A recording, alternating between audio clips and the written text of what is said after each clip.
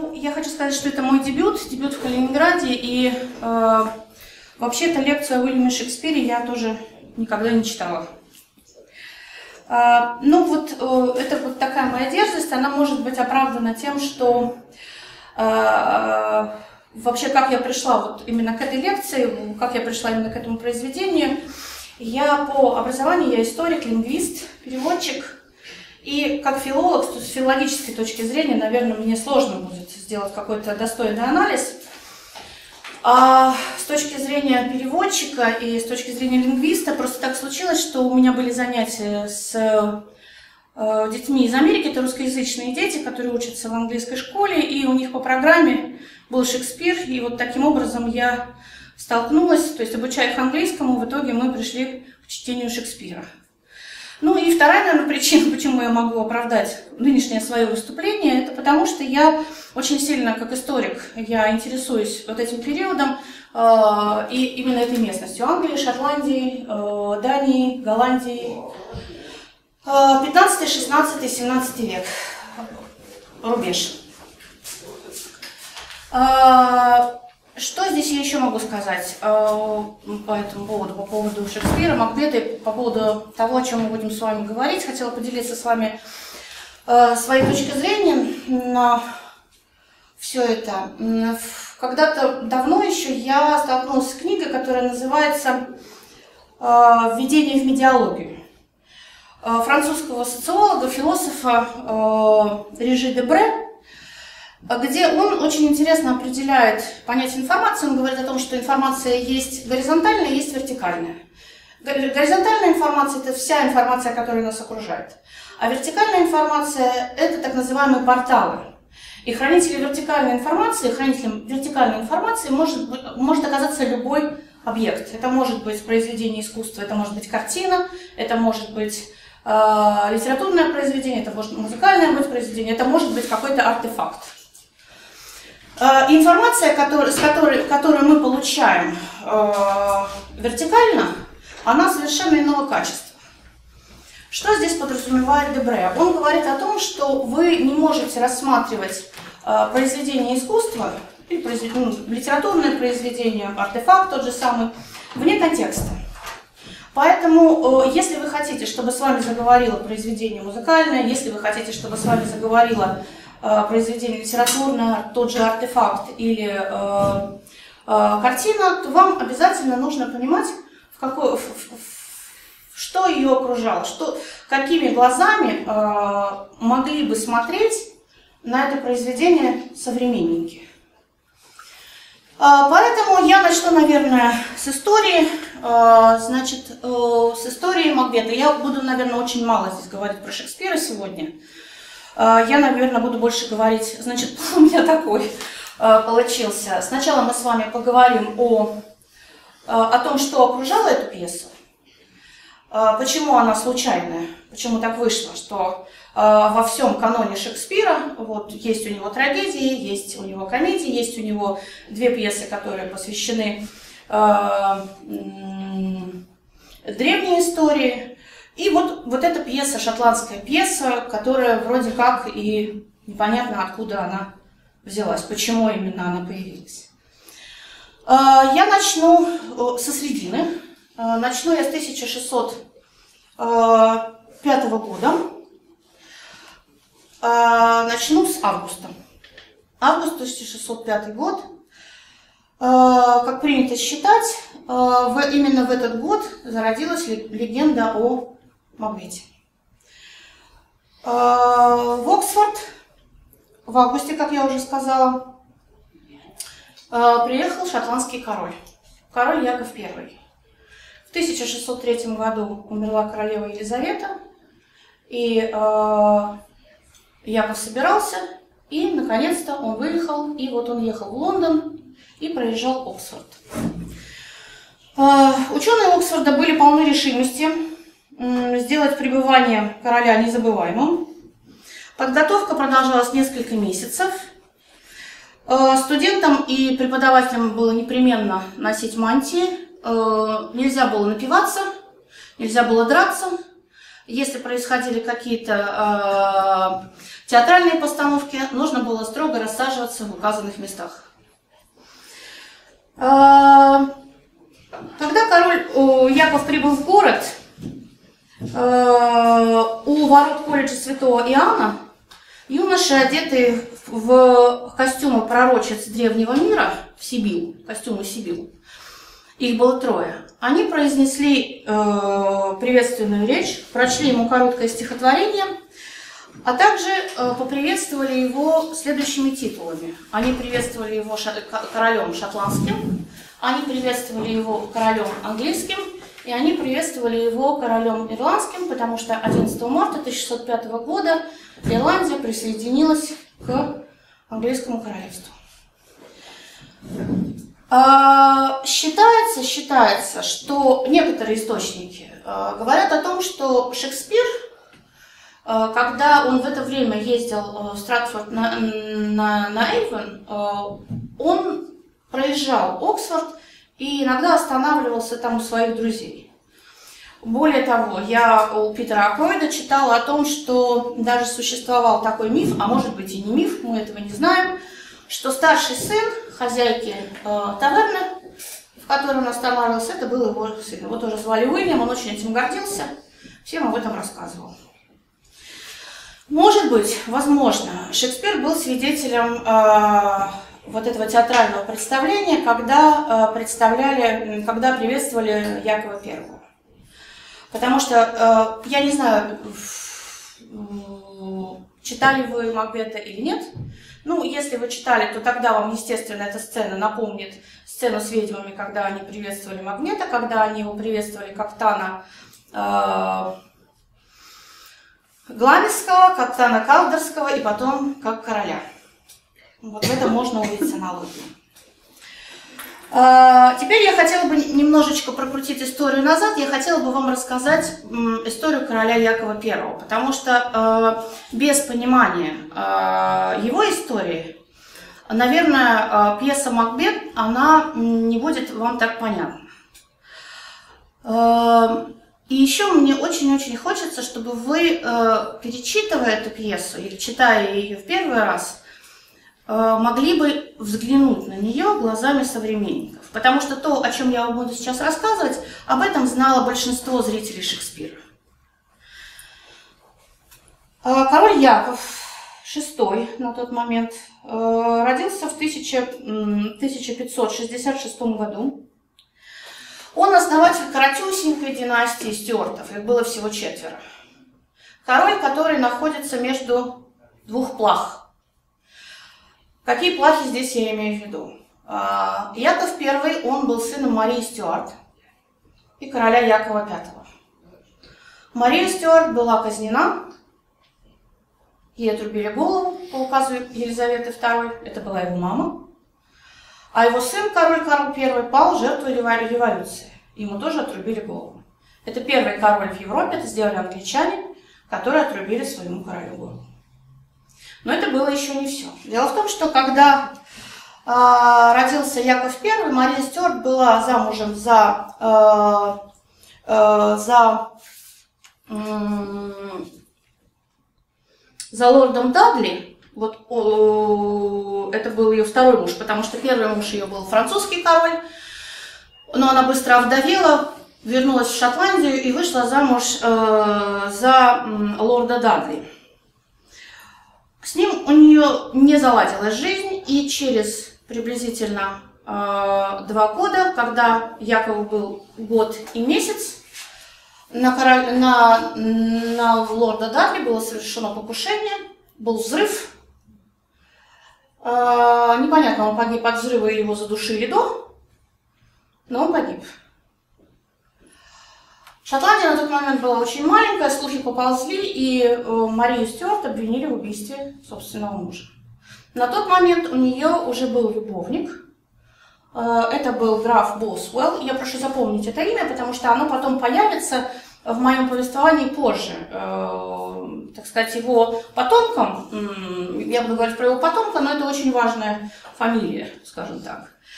Э, тогда, да, она уже состояла в связи с, лорд, э, с, с графом Булсулом. И э, по обвинению э, ее, ее заточили в, в, в тюрьму, в замок, вот, и э, в, в 1000 1567 году она подписала отречение от престола. Ну вот давайте теперь посмотрим на это все э, с глазами Якова. То есть мама э, убила папу. Папу взорвали. А мама была католичкой. Яков первый э, воспитывался в протестантской вере, строгой протестантской вере. Э, любовь к маме ему не прививали абсолютно. Э, он вступил в, вступил в свои права, он стал монархом, э, когда ему было, вот, получается, один год, один год и месяц. Э, при нем были все время регенты. За несколько лет, первые 12 лет он не имел права, он не имел права прикасаться к государственным делам, у него были регенты. И вот за вот это вот небольшое время у него сменилось 7 регентов – его два раза похищали. Первый раз его похитили католики, второй раз его похитили протестанты. Он от них сбежал. И в итоге потом, в 14 лет, он сказал, нет, я король, я буду править. Ну, детство, мягко говоря, невеселое. И вот этот вот, кстати, взрыв, который случился с лордом Дадли, когда впоследствии, в 1605 году, будет на него организовано покушение, которое называется «Пороховой заговор», Именно он, когда э, ему донесут о том, что пришло письмо с, с предостережением одному из членов парламента, чтобы он не появлялся на сессии, потому что будет большой удар, именно он предположил, что это будет взрыв. И именно он э, принял решение, что нужно осмотреть подвалы парламента. То есть я думаю, что это у него было уже где-то на генетическом уровне. Он очень сильно боялся заговоров. В 1589 году, когда ему было 23 года, он решил жениться. Ему подыскали э, партию, это была датская принцесса, принцесса Анна. Э, брак был заключен по доверенности, и из Дании отплыл флот с уже на тот момент королевой. В это время на море э, поднялся... Так, я что-то заговорилась. Наверное, мне нужно показывать. Извините, я забыл. Ну, значит, вот здесь вот, сейчас э, быстренько пробежимся. Яков первый, вот он такой малыш. Он был очень слабого здоровья. Он до 7 лет э, не мог самостоятельно стоять. Ему постоянно помогали передвигаться. Э, ему очень нравилось кататься на лошади, но в силу того, что у него были очень слабые ноги, он, э, его привязывали к лошади. И однажды он упал в пруд, и он чуть не утонул. То есть это еще один стресс. Это был для него очень большой стресс, он очень боялся воды. Э, свои, свои физические недостатки он компенсировал интеллектуальными способностями. Он э, уже в подростковом возрасте начал писать стихи. Его учитель, да, его учитель Джон Бьюкеннон, он э, при похищениях он был с ним. Он научил его э, древнегреческому языку, латыни, он научил его французскому, свободно говорил по-французски. Он говорил на гальском языке, естественно, потому что он был из Шотландии, и он говорил на английском языке с очень сильным шотландским акцентом. И это, конечно же, когда он стал королем Англии, очень сильно ему мешало. А, да, очень он был образован. Ну вот, теперь вот мы переходим э, к свадьбе. Значит, вот это вот Анна Датская, пожалуйста, а это юный Яков VI на тот момент. Э, как я уже говорила, э, флот Анны отплыл из Копенгагена. И проплыв э, некоторое, некоторое расстояние, давайте я вот здесь вам покажу. Значит, вот они выплыли отсюда, и э, обогнули вот этот мыс, выплывали сюда, и здесь начался очень сильный шторм. Один корабль разметало в щепки, корабль Анны получил пробоину, э, ее э, адмирал, начальник флота Питер Мунк э, принял решение, что им нужно уйти в Осло на ремонт. И вот здесь, в Эдинбурге, для встречи королевы тоже снарядили паром, он был нагружен драгоценностями и подарками. Его возглавляла леди Мэри Мелвилл. Этот паром тоже погиб, тоже разметало в щепки. Король Яков не отличался особой смелостью, но, видимо, он предпринял единственную в своей жизни смелую попытку совершить какой-то поступок. Через некоторое время он тоже отплыл в Осло, забрал свою жену, королеву, и они вернулись в Копенгаген. Они вернулись. Это случилось, этот шторм случился э, в конце октября, в начале ноября. И все лето, весну и лето они провели в Копенгагене. Что происходило на этот момент в Копенгагене? В Копенгагене э, несколько женщин, двух или трех женщин обвинили в колдовстве. И э, главное обвинение было в том, что они вызвали шторм на море, и поэтому э, погиб один корабль, поэтому э, королева Анна не доплыла до Шотландии. Соответственно, решением было их, конечно же, они, естественно, они признались, потому что их пытали, вот, чтобы все это прекратить, они признались и были сожжены. А, в это время, находясь там, все это наблюдая, король Яков еще посетил такого известного алхимика астронома, астролога, его звали Тихо Браге.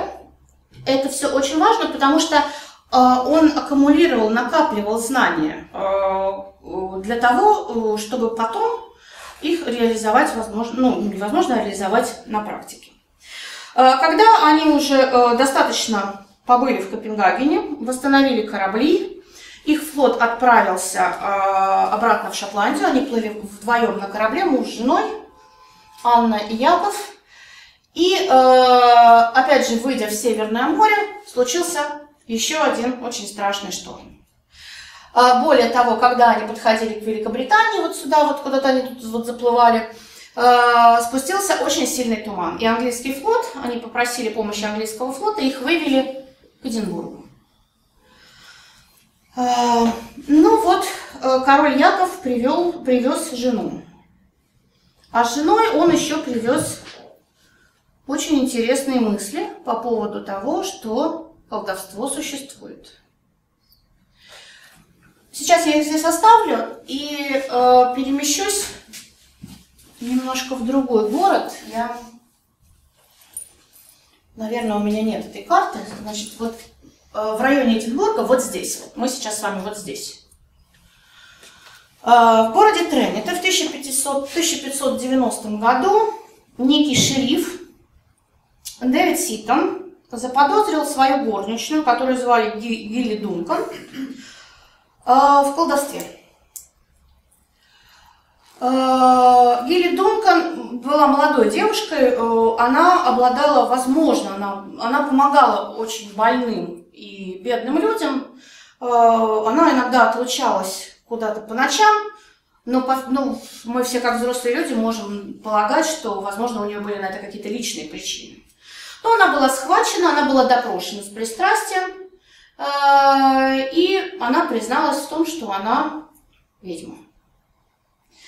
Этот случай в 90-м году запустил так называемый процесс, который называется э, дело ведьм северного, северного Бервика. Это очень важное дело, потому что э, потом, э, если мы с вами дочитаем, дойдем до Макбета, и когда мы будем смотреть на э, то, что пишет Шекспир, это все будет очень-очень нам полезно знать, потому что фактически э, Шекспир, он был знаком с этим делом, и он пользовался э, памфлетом, который вышел в 1593 году, он назывался «Новости из Шотландии», где был описан этот процесс, и он его очень активно использовал в создании образа ведьм. Ну, вернемся, к, вернемся в Шотландию, вернемся к показаниям Гари Дункан она назвала имена. Там было названо порядка 60-70 человек. И э, самые такие вот э, известные э, суды проходили над следующими людьми. Э, В первую очередь Гилли Дункан назвала Агнес Симпсон. Агнес Симпсон была известная акушерка, повитуха. Она занималась врачеванием. У нее до этого были проблемы с законом, которые были связаны с колдовством. Ее очень сильно с пристрастием допрашивали. И чтобы прекратить свои мучения, она сказала о том, что да, я ведьма. Здесь очень интересно, потому что э, Яков э, I, он, э, Яков VI на тот момент, он сам лично участвовал в ее допросах, потому что э, он считал, что это, это дело лично касается его семьи, и он просил ее рассказать в подробностях, как, э, как все произошло. Значит, э, помимо, помимо имен, что она назвала, она еще и рассказала, собственно, как все произошло. А дело было так. А, в ночь всех святых, соответственно, с 31 октября на 1 ноября, там по разным показаниям было разное количество людей, но Агнес Симпсон, Симпсон, Симпсон она сказала, что их было около 200. Значит, напившись вина, сев в сито и переплыв э, вот этот вот пролив, Ведьмы э, попали в Северный Бервик. Они танцевали э, хоровод, танцевали танцы, все время против часовой стрелки. Э, еще одна из обвиняемых, э, которую звали... Э, а, по-моему, ее звали Джилли Симпсон, да, Джилли, э, Джилли, Джилли Дункан, да. Она играла на еврейской арфе. Еврейская арфа это небольшой, это как варган такой вот инструмент, его иногда, не иногда, он был популярный, достаточно народный инструмент в Шотландии, и на нем играло, умели играть многие люди. Э, после того, как они потанцевали, еще выпили, они направились в Кирку. Кирка, сейчас, минуточку, вот, вот он. Она до сих пор есть. Они направились в Кирку, там они встретились с дьяволом, они отчитались ему за свои дела. Эти дела все перечислены в э, показаниях. Эти дела потом, эти все злодеяния вы потом можете найти в шотландском вестнике. Эти дела вы потом все найдете в демонологии Якова I. И, соответственно, большинство из этих дел вы найдете в Макбете, когда ведьмы будут перечислять свои злодеяния. А, после того, как они, э, после встречи э, в Кирке, Агнес Симпсон взяла кошку, привязала к ней конечности мертвеца и бросила ее в море, тем самым вызвав шторм. А, естественно, ее казнили, ее сожгли, также, было, э, также был обвинен школьный учитель Джон Фиан. Он просто был э, ловелас и очень был любвеобильный человек. Его несколько раз обвиняли в приворотах. Ну, в общем-то, это было очень удачное, удачный, э, так сказать, шанс для того, чтобы его убить. Он, его тоже пытали очень жестоко, он тоже сознался и был сожжен. Кто еще здесь был? Здесь была еще Эфимия Маккалиан. И вот здесь э, очень интересное было обвинение. Ей предъявили обвинение в том, что она написала письмо некому, некому Фрэнсису Стюарту, пятому графу Босву. Вот мы с вами возвращаемся к этой фамилии. А, Яков Стюарт боялся этого человека как огня. А, да, он, э, он, он тоже слыл колдуном, он был очень умный человек, он был очень начитанный, он был ученый, он был алхимик, и он еще был реальным претендентом на шотландский престол. Если бы король Яков не, не женился на Анне Датской, и если бы у короля Якова не было бы детей, то следующий э, в линии престола наследия числился этот человек, Фрэнсис Стюарт. И есть такие догадки, что вот это все э, во многом, вот это дело, которое начал э, Яков I, которое вот дело с э, ведьмами из э, Северного Брейвика, Бервика, извините, было как раз делом, чтобы устранить Фрэнсиса Стюарта, пятого графа Босуэлла. Так вот, Юфимия Макалиан, она написала ему письмо, поддержку. То есть, когда его задержали, она написала ему письмо, э, что явилось достаточным основанием э, быть обвиненной тоже в колдовстве. Э, в 1950, 1591 году, то есть вот дело ведьм началось в 1590, в 91 году Якову Первому удалось арестовать Фрэнсиса Стюарта. Из-за своего высокого положения э, все-таки ему удалось э, избежать наказания, и он э, бежал во Францию. Затем позднее он вернулся, и в 1593 году, то есть через два года после этого, он захватил Якова Стюарта. Это, было, это была такая сцена, она описана он ворвался к нему в покой, он хотел у него потребовать э, официального опровержения в том, что он колдун, э, он хотел, чтобы с него сняли все обвинения, и Яков первый, он настолько был перепуган, что он сказал, ты меня можешь убить, но только душу мою не забирай. Он помиловал его, но Фрэнсис продолжил так сказать, заниматься вот этими всякими алхимическими практиками и всем прочим. В итоге в 95 году был изгнан в Италию, и там, в общем, слыл-то очень сильным магом. А, вот это дело ведьмы Северного Бервика, оно значительно повлияло на формирование взглядов Якова на колдовство.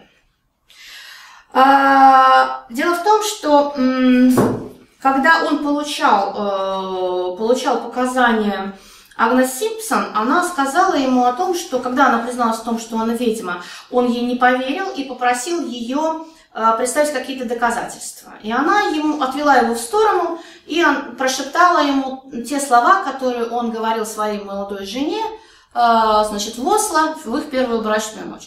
Никто этому свидетелем не был, вот это мог быть сам Ягов первый, он мог в это поверить или придумать.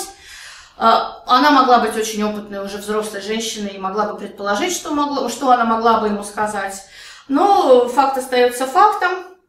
Э, помимо вот этого вот э, того, что она поведала Якову Первому, она еще сказала о том, что когда они встречались в Кирке, дьявол сказал ей о том, что Яков Первый является его самым главным противником на земле, как наместник Бога на земле.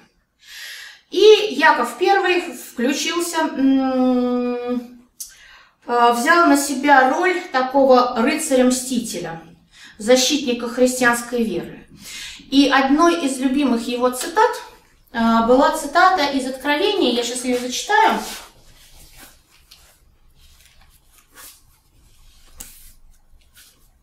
Он ее очень часто приводил э, своим подданным. «И увидел я отверстное небо, и вот конь белый, сидящий на нем, называется верный и истинный, который праведно судит и воинствует. Очи у него, как пламень, пламень огненный, а на голове его много диадем. Он имел имя написанное, которое никто не знал, кроме его самого. Он был облачен в одежду, обогренную кровью. Имя ему – Слово Божие. И воинства небесные следовали за ним на конях белых, облаченные в весон белый и чистый. Из уст же его исходит острый меч, чтобы им поражать народы. И пасет их жезлом железным, он пасет их жезлом железным, он топчет точила вина ярости и гнева Бога Вседержителя. На одежде и на бедре его написано имя Царь царей и Господь господствующих. Так вот, э, своим острым мечом, который исходит из, изо рта, Яков I сделал э, свою книгу, демонологию, которую он по Э, по следам вот этого процесса э, ведьм Северного Бервика в 1897 году издал. Э, в 1604 году, когда он уже будет королем Англии, и когда он зайдет на престол, на восьмой день он примет закон о колдовстве это 1604 год, а, который будет отменен только в 1736 году. И хотя Англию не захлестнула так сильно, как Шотландию, охота на ведьм, но очень много пострадало, то есть порядка двух тысяч человек. Ну, я считаю, что безвинно, вот, совершенно по навету пострадает от этого закона. А, закон о колдовстве был в Елизаветинскую, в, в, пору Елизавет в 1500, э, по-моему, 64 э, в 63-м, прошу прощения, э, был издан закон о колдовстве, но там самое главное отличие было в том, что судили за преступление, а не за факт колдовства. И э, судили, э, тяжесть преступления определялась э, тяжестью совершен, тяжесть наказания определялась тяжестью совершенного преступления. Э, в законе короля Якова карался сам факт колдовства. Э, еще было такое нововведение, что принимались показания детей, но что делало, как вы понимаете, этот закон ну, совершенно свободным, так сказать, развязывало руки. Ну, что, собственно, потом и случилось.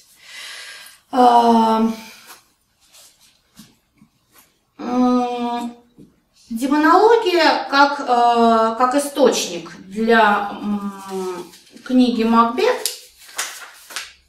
Э, да, я думаю, что Шекспир ее читал. И не только я думаю, наверное, я думаю после тех людей, которые так думают. Э, значит, демонология состоит из трех книг. Она выстроена в форме, представлена в форме диалога между двумя мужчинами, Филоматом и, эпос, и, Эпостемоном. Эпостемон – это такой альтер-эго Якова, он осведомлен, он очень верит в колдовство, и он пытается, убедить Филомата в том, что это все реально.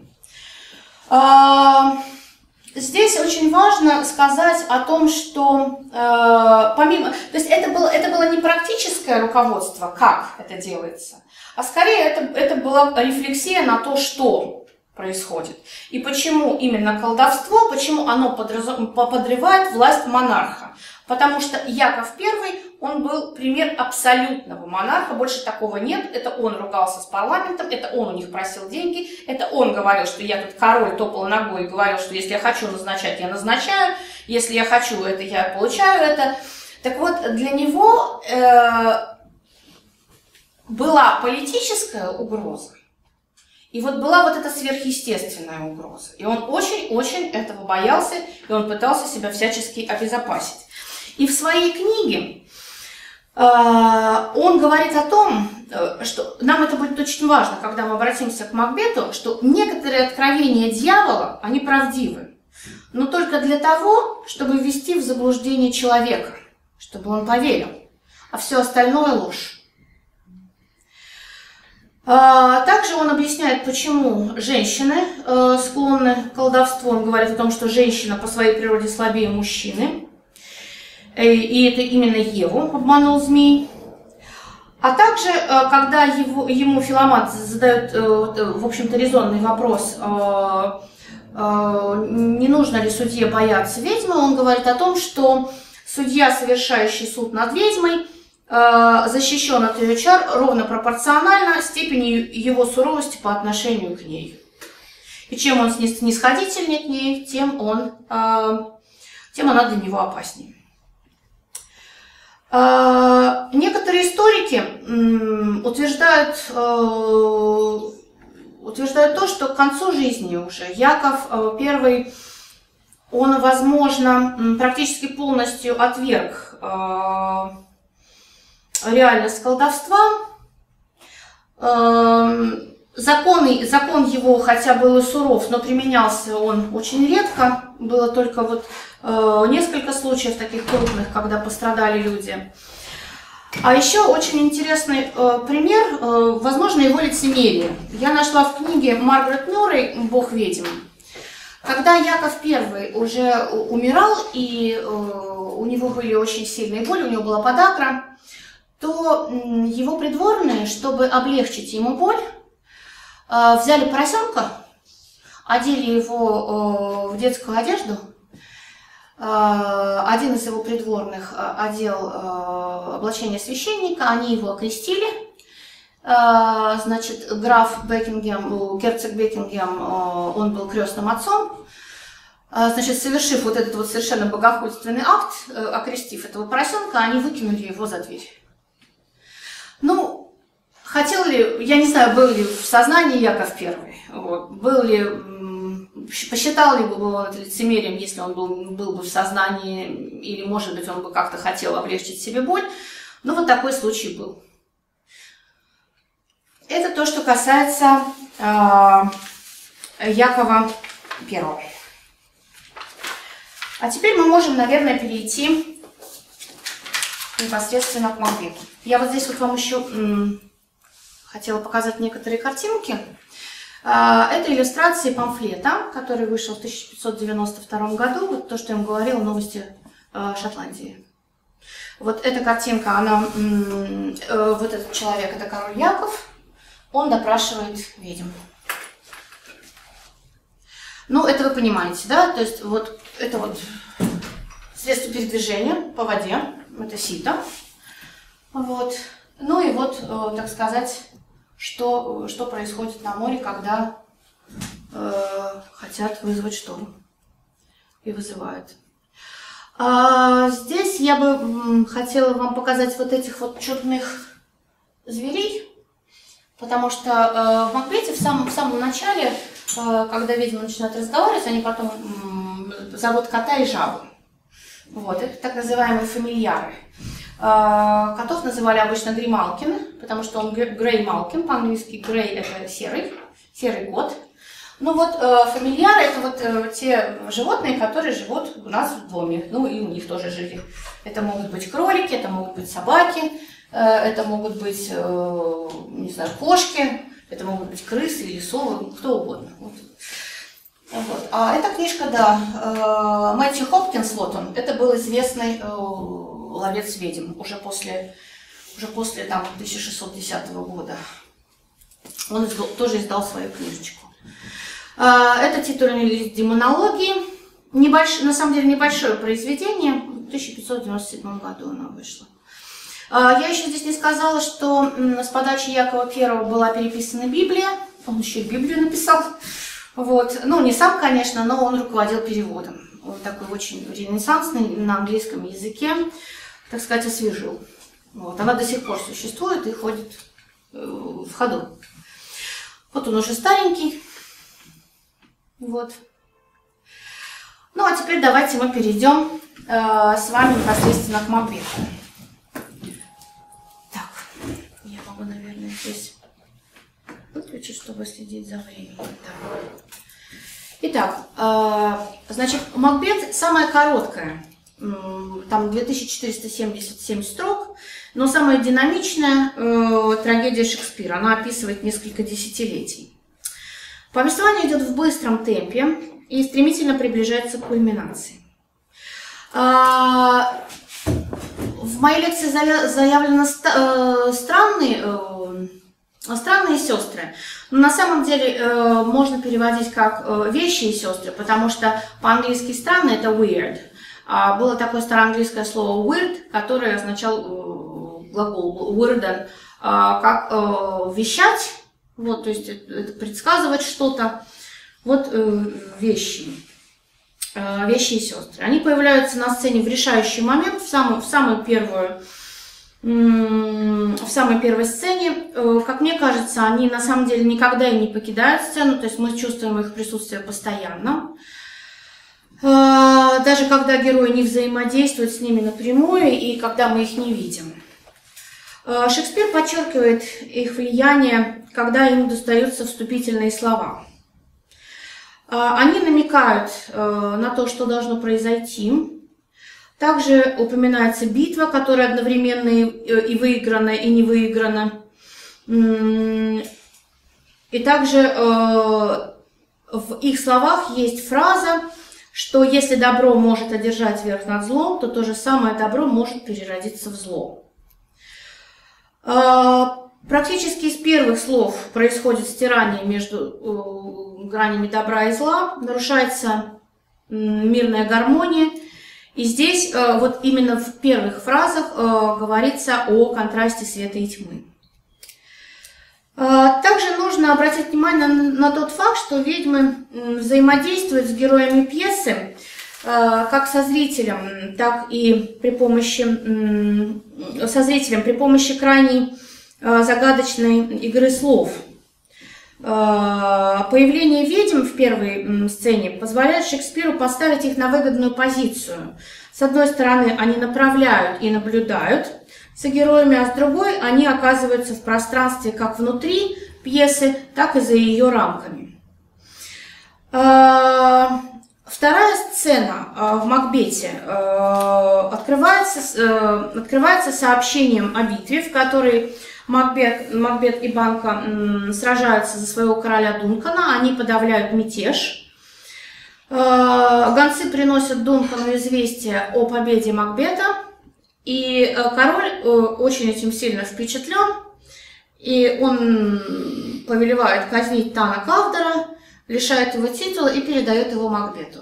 Дело в том, что здесь происходит то, э, что мы можем предположить, что король уже находится под чарами ведьм, потому что через некоторое время, буквально там в следующей сцене, они будут произносить то, что говорит король. Он отдает Макбету титул. Э, в третьей сцене зритель становится свидетелем самого критического момента э, первого акта. Снова появляются ведьмы рука об руку друг с другом.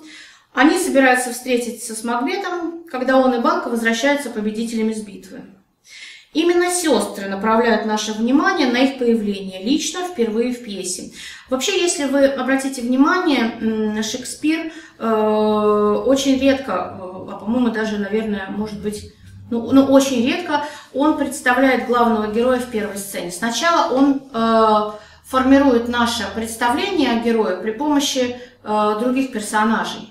То есть э, к тому моменту, когда появляется э, Макбет первый раз, мы его представляем, то есть у нас уже сформировано о нем какое-то мнение, и он выступает э, у нас положительным героем, потому что он сражается за короля, он побеждает, э, его награждают. Э, первое, что произносит Макбет в, в трагедии, это «прекраснее и страшнее не помню дня», это в переводе у Пастернака, «был тяжек день, но вместе с тем прекрасен», это у Соловьева, не помню дня суровей и прекраснее, это у Лозинского. И это нас отсылает вот к тому, что в самых-самых первых э, своих э, строках говорили ведьмы. А говорили они следующую фразу. Они говорили, э, зло есть добро, добро есть зло. Э, и хотя Макбет еще не видит ведьм, связь э, между ними уже установлена. Их чары уже подействовали на него, и зритель уже может понять, что не только Макбет, но и Дункан в предыдущей сцене лишь повторяют то, что уже было произнесено ведьмами. А, ведьмы немедленно заявляют о своей власти, они просят банка хранить молчание, банка не находится под их чарами, потому что он видит их э, реальный облик, э, он говорит о том, что как жалок вид их и как дик наряд, они так отличаются от прочих жильцов земли, и все же они на ней. Кто вы такие? Вы живые твари? Вас можно спрашивать? Как будто да. Вы поняли меня? И приложили сухие пальцы к высохшим губам. Вы женщины, но бороды на лицах, как будто говорят нам о другом. А, вот здесь я бы хотела немножечко отвлечься и э, просто сделать небольшую ремарку. А, дело в том, что вот во всех постановках Макбет, Макбет и, в общем-то, в описании, вот мы это можем судить по описанию банка, ведьмы выглядят, то есть мы их представляем с бородой, мы их представляем очень старыми и страшными, а э, остались дневники Джона Ди, это придворный э, астролог э, Елизаветы II. Так вот, он, он был э, театралом заядлым, значит, он ходил и в глобусы, и в розу, и ходил в, э, пока был жив, и писал что-то типа, как ему казалось, видимо, каких-то рецензий. На самом деле, вот, если почитать, то это просто, ну, вот описание, э, то есть это просто пересказ пьесы. И э, интересно его замечание об этих ведьмах. Он написал, что они были чудные, прекрасные, и как феи, ну, он имел здесь слово фейри, а фейри это как м, противоположность witch, как противоположность ведьмы. Но вот почему-то он их так описал такими прекрасными, я не знаю почему. Мы никогда не попадем на, ни на премьеру, собственно, ни на второй, ни на десятый показ Непонятно почему. Но вот Джону Ди они показались прекрасными. Это просто вот такая ремарка, то есть вот то, из того, из чего я читала. Ну хорошо, значит, ведьмы немедленно заявляют о своей власти, они просят банка хранить молчание, как уже было сказано. Они отказываются говорить с ним, и вместо того, чтобы прямо ответить Макбету на его вопрос, кто они, они его последовательно э, приветствуют. Они, его, они говорят ему «Хвала тебе, Макбет, гламисский там», «Хвала тебе, Макбет, э, кавдорский там», и «Хвала, э, хвала тебе, Макбет, король в грядущем». Ну, здесь я уже, как говорила, здесь можно проследить аналогию с приветствованием, с приветствованием короля Якова I э, в Оксфорде, когда э, Норны, да, вот здесь вот аналогия с Норнами, э, как раз это вот предсказательницы судьбы. Это вот в скандинавской мифологии три женщины, волшебницы, они наделены чудесным даром определять судьбу людей и богов. И они, имя им след, имена у них следующие. У одной Норны это Урт, а, она означает прошлое и судьбу. Это вот Гламискитан, то есть это его прошлое. Далее, э, Верданди это значит настоящее, а скульт это означает будущее или должное, то, что должно произойти. Итак, зрители уже знают э, о том, что король э, сделал Макбета кавдорским тан, таном, но Макбет и банка еще этого не знают. Но это и есть решающее предсказание, потому что ведьмы объявляют э, цепочку событий. Э, э, и вот какое влияние, вот, вот здесь вот у меня был вопрос по поводу, ну, наверное, к себе, да, какое влияние вот эти вот сцены с ведьмами могли оказывать на шекспировскую аудиторию. Ведь э, вот э, всем, э, всем тем, кто смотрел пьесу, было известно, что Яков I, он был таким вот э, ревнителем веры, он написал книги, э, которые мы с вами обсудили, все они были, все они, всем им было известно о, об этом вот э, очень громком шотландском деле. Эм, и также они еще знали э, о том, что э, Яков I, Яков I, он принадлежал к роду Банко. Сейчас я объясню, откуда мы это знаем. Дело в том, что э, когда уже Елизавета I была в возрасте, и когда вся нация, в общем-то, была озадачена вопросом, кто будет ими править, потому что не было наследника, в это время очень сильно распространились исторические исследования. И одним, эти книги исторические были очень популярны. И еще в детстве Шекспира они появились, и потом переиздавались. И одной из этих книг э, была история Рафаэля Холлиншеда, где он э, как раз-таки э, описал жизнь Макбета, но, естественно, это не та, это жизнь нереального Макбета, это была исключительно вымышленная фигура. А, потому что а, в реальности все было до наоборот противоположно. А, но у Холлиншеда есть сцена, когда Макбет и его друг Банко, они точно так же встречают провидец, это было в исторической книге написано, что они встречают провидец, и те им предсказывают то, что мы можем с вами прочитать в трагедии Макбет. А, да, Яков I был э, потомком банка. И потом впоследствии, когда уже э, Макбет будет обращаться по собственному желанию и будет просить ведьм э, рассказать ему, что его ждет, там будет некое явление, из, представленное из восьми королей. И последним из королей, значит, седьмой король, он несет зеркало, и в зеркале отражается главный зритель этой пьесы Яков Первый. То есть вот эта цепочка, она, то есть это было еще очень зрелищно. Ну, вообще, наверное, трагедии, ну, вообще э, э, пьесы Шекспира, э, их, наверное, нужно смотреть, потому что они вот как раз написаны вот для того, чтобы их смотреть, а не читать. А, вот э, еще хотела сделать такой вот, обозначить немножко, если вы обратите внимание, а, в четвертых обычно, а, в четвертых актах нет главного героя Шекспира. Потому что в это время главный герой за сценой отдыхает. Вот, и вы можете проследить, обычно вот в четвертых, в четвертых актах главного героя нет. Э, да, и, э, значит, вот эта зрелищность, вот эта череда королей, из которых э, девятым потомком Банко являлся Яков I, конечно же, говорит о том, что, песня, что трагедия это совершенно не случайно. Она скорее написана по случаю. Вот, и она придавала легитимности королю Якову, так сказать, на его престоле. А, теперь еще я хотела бы вернуться к ведьмам. Значит, э, с ними мы сталкиваемся в пятой сцене. А, леди Макбет читает письмо от мужа. О последних событиях она получает письмо. И, как мне кажется, это письмо уже зачарованное, потому что, читая его, э, леди Макбет, она, в общем-то, проникается идеями своего мужа. Э, она проникается предсказанием, э, она начинает призывать э, потусторонние силы, чтобы они ей придали, придали сил, сделали ее характер более мужской. И посредством этого письма, зачарованного письма, на мой взгляд, ведьмы как будто бы передают ей свободу действий. И она берет э, на себя ответственность довести, довести дело до конца. Ее решимость использовать свою силу языка, чтобы проникнуть в душу Макбета через его уши, является примером более широких возможностей магов в целом, колдунов и ведьм.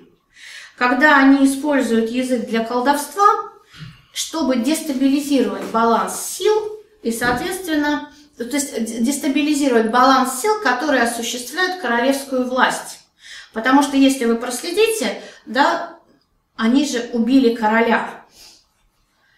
И они убили короля при помощи колдовства, при помощи ведьм. Здесь очень четко прослеживается. То есть я думаю, что Шекспир очень четко уловил вот этот страх короля Якова и передал его вот через э, такие вот художественные художественный прием, через этот сюжет.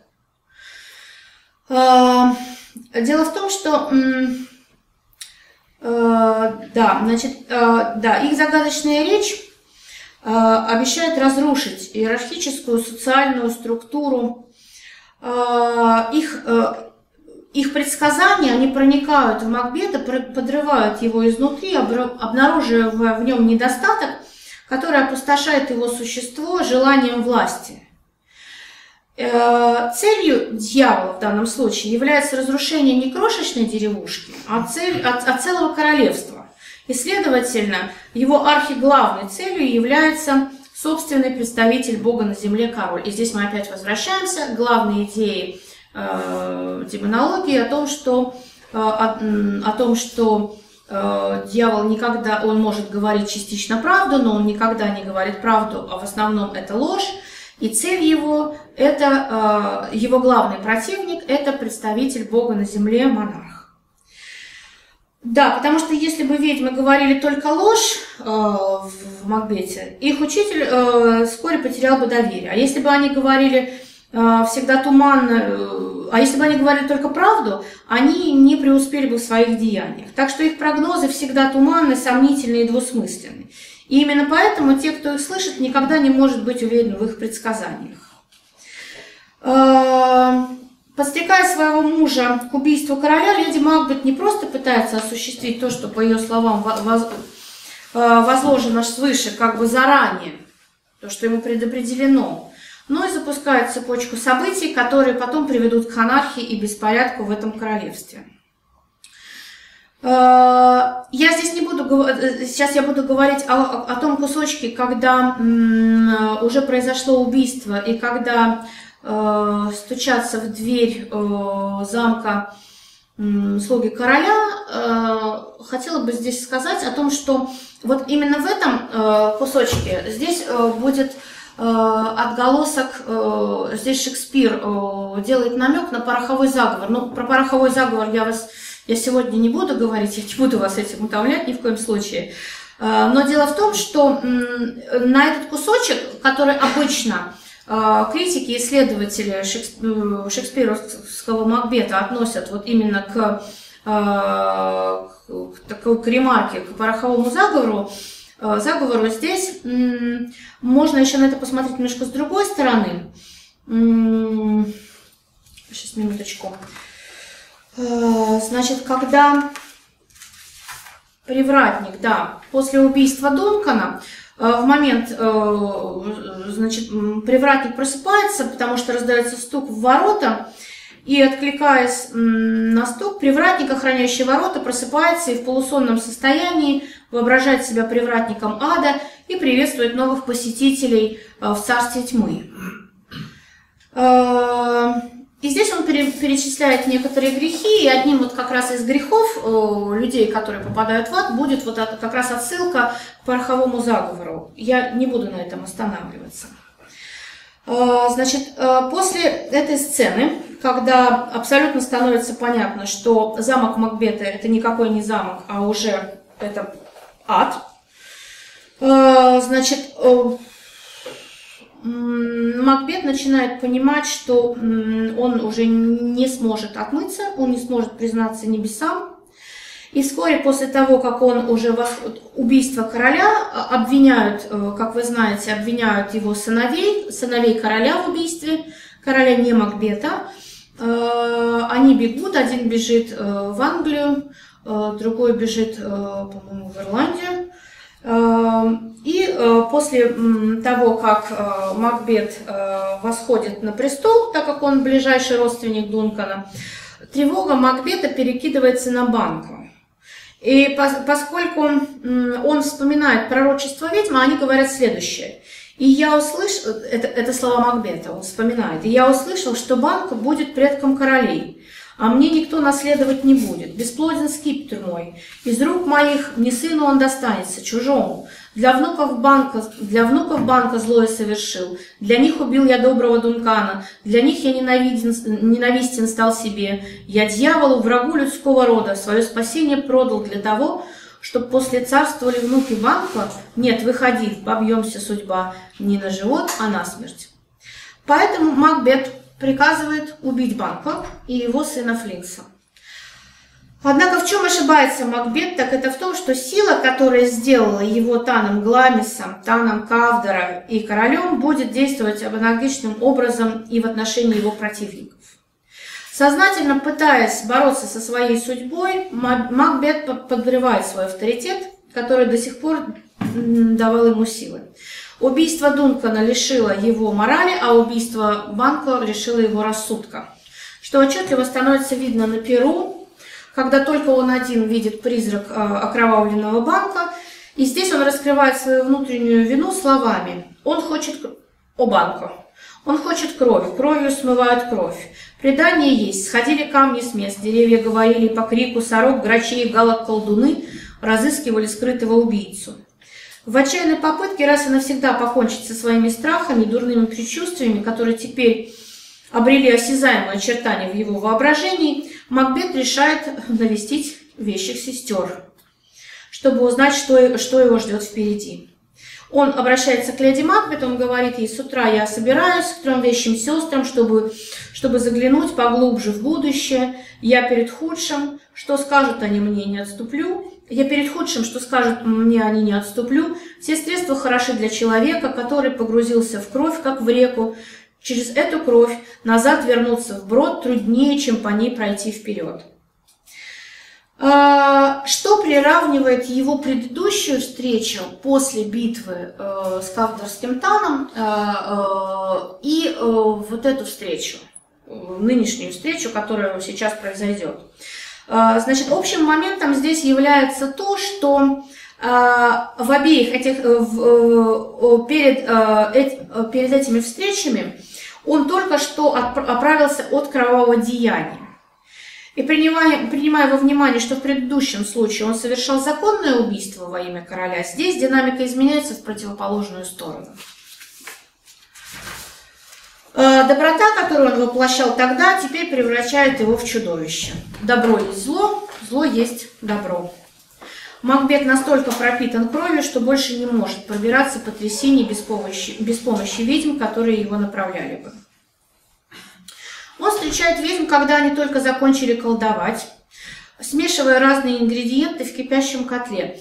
А, мне очень нравится этот кусочек, потому что там они перечисляют, ну, фактически они э, перечисляют э, вот именно какие-то части тел животных, растений, вот они все это складывают, и это все варят. Э, если вы не против, я вам зачитаю. Он достаточно... Э, я возьму перевод Пастернака, потому что он такой быстрый. Взвейся, взвысь язык огня, закипай, вари стрепня, а потом спина змеи, без хвоста и чешуи, пёсья мокрая ноздря, с мордою топыря.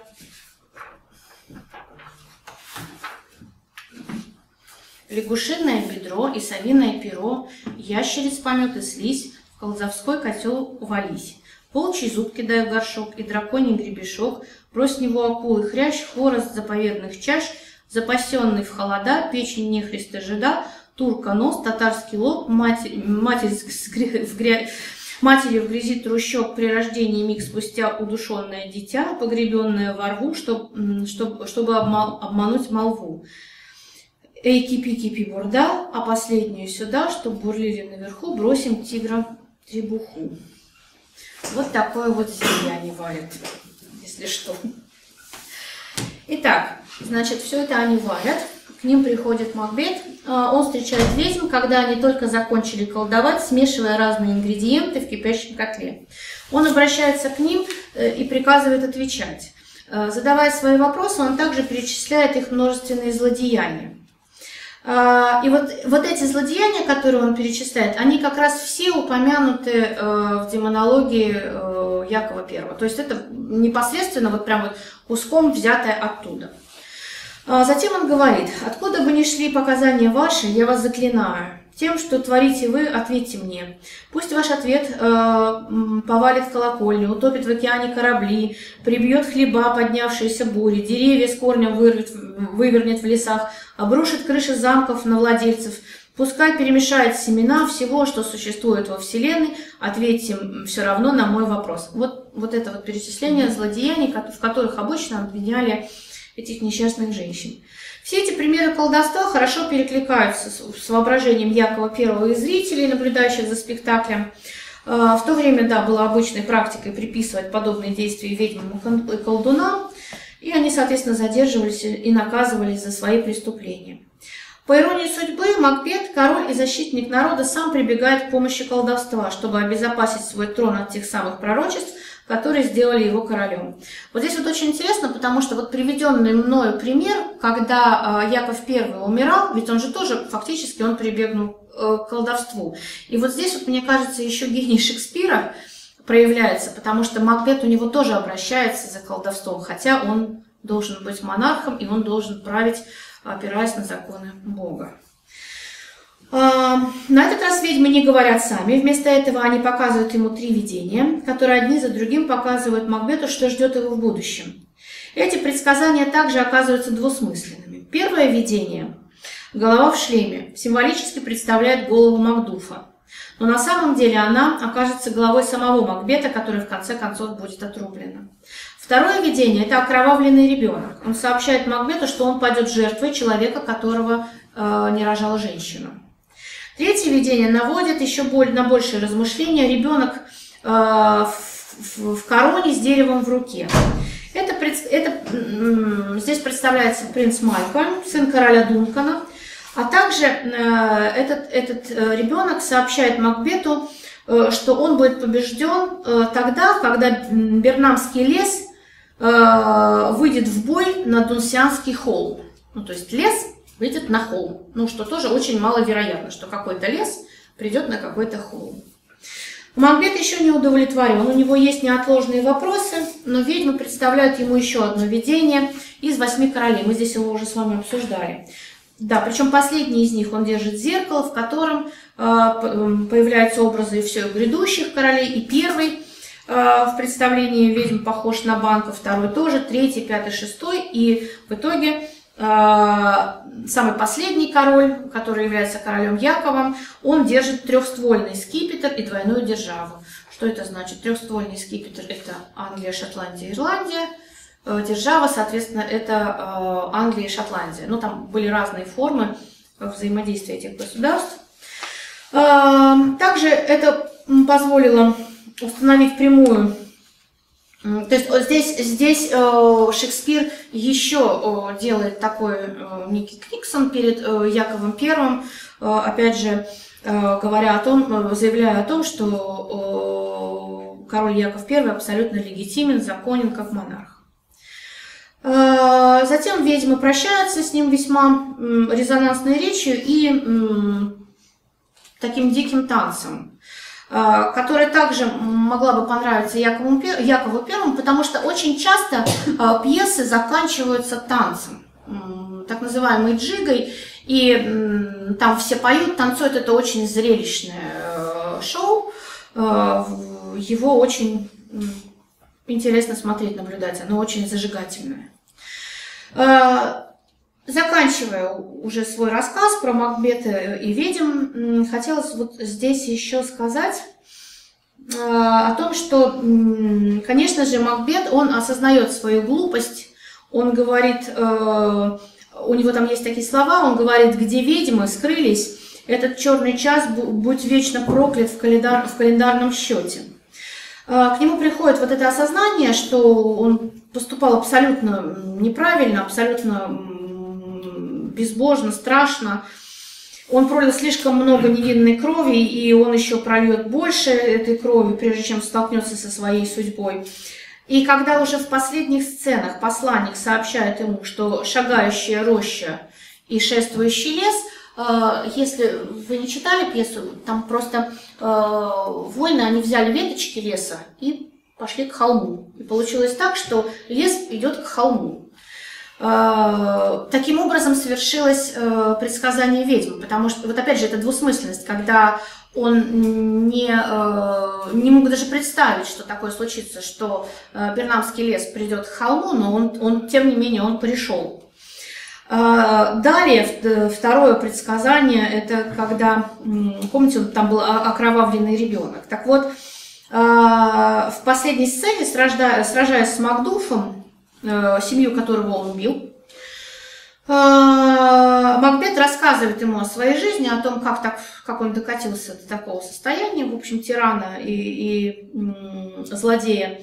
И он говорит ему о том, что ему было предсказание, он ничего не боится, потому что он может погибнуть только от э, человека, которого не рожала женщина. На что Макдуф ему говорит, меня не рожала женщина, меня вырезали из нее. Вот, соответственно, э, да, э, встреч, да, и встречаясь, значит, и он понимает, что Макдуф это как раз тот человек, которому суждено его убить. Э, и встречаясь лицом к лицу э, со смертью в образе Макдуфа, он последний раз вспоминает ведьм и называет причину всех своих бедствий. Он говорит, не надо верить прорицаниям ада, проклятие им за их двоякий смысл. А, ну вот здесь вот я хотела бы остановиться. Может быть, эм, сегодня я хотела бы все-таки говорить, наверное, вот э, обозначить две темы, которые это образ ведьм в произведении Макбет. И также вот хотела вам рассказать про Якова Первого, про его демонологию и вот про то, что происходило в то время. Может быть, если вы будете читать, или э, смотреть э, эту э, пьесу, вам поможет мой рассказ как-то более, может быть, э, так трехмерно, что ли, увидеть героев и обратить внимание на такие вещи, на которые вы раньше не обращали.